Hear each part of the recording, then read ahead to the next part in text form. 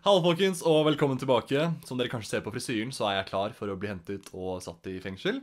13 og spretten har jo aldri hatt en sterkere betydning enn den dag i dag. Dennis Vareide har nemlig saksøkt meg, eh, noe mesteparten av dere kanskje allerede har fått med dere.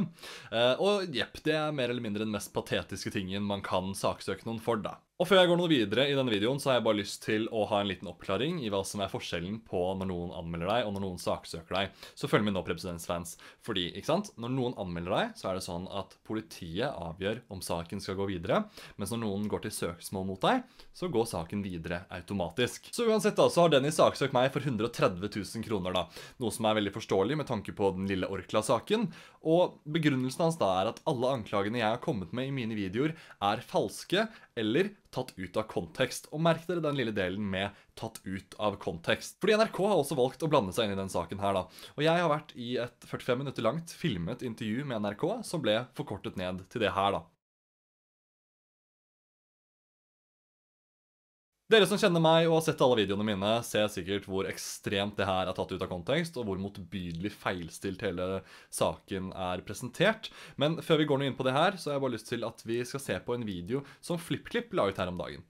Nå skjer det ting i det norske YouTube-miljøet som bekymrer oss litt. Hovedsakelig er det en ganske bra video, hvor de fremmer noen punkter som er veldig viktig å tenke på når man ser såkalte expose-videoer. Eh, Det snodige er likevel hvordan de sendte meg en melding i forkant av videoen, hvor de ønsket å introdusere meg for dette fenomenet, også kjent som tilsvarsretten.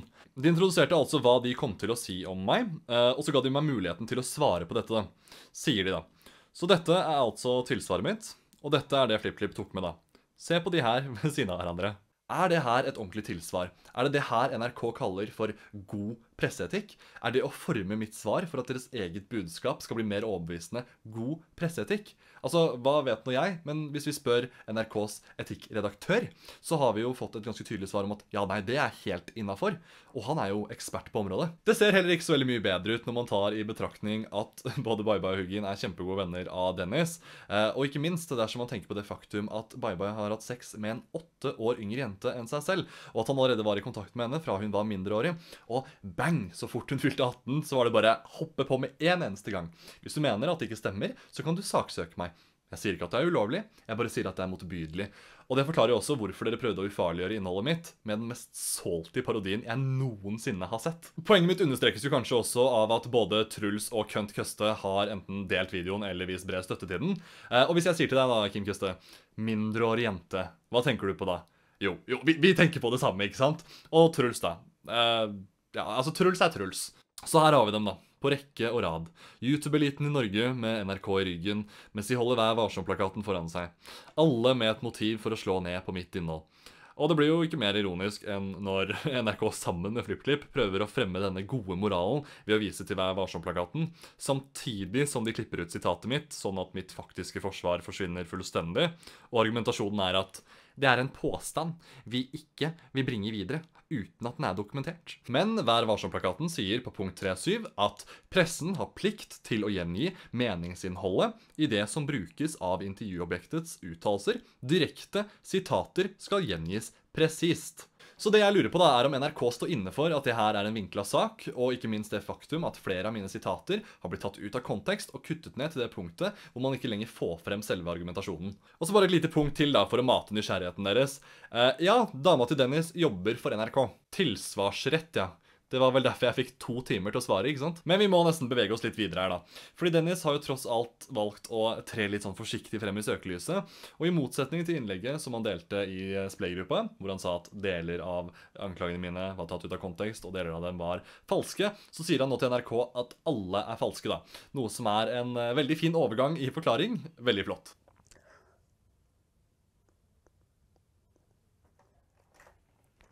Ja, det går bra.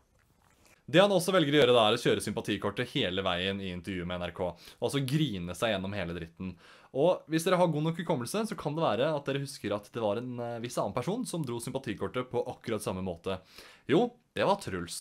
Likevel da så caller han ut mine følgere for å være barn.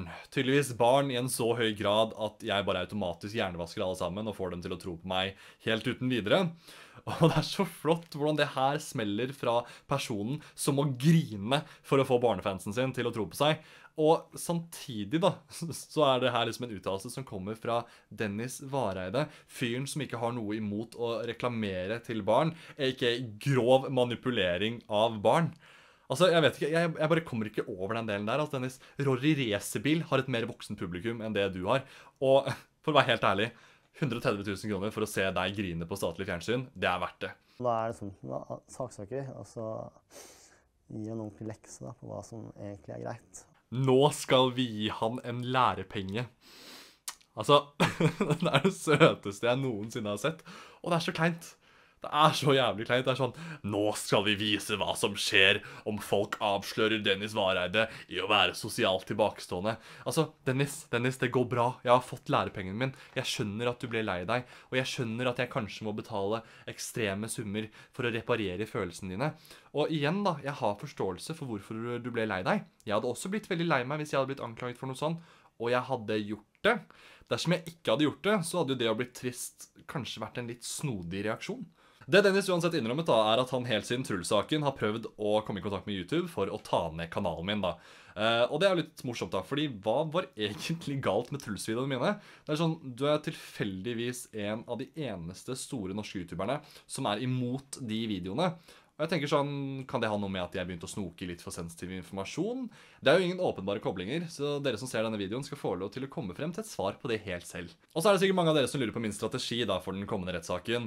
Og hvis jeg røper det, så kommer jeg til å ødelegge hele overraskelsen. Så akkurat nå, på det punktet her, er alt jeg kan si at sannheten, den skal frem. Og hvis det er én ting jeg har kjempet for hele veien, så er det sannheten.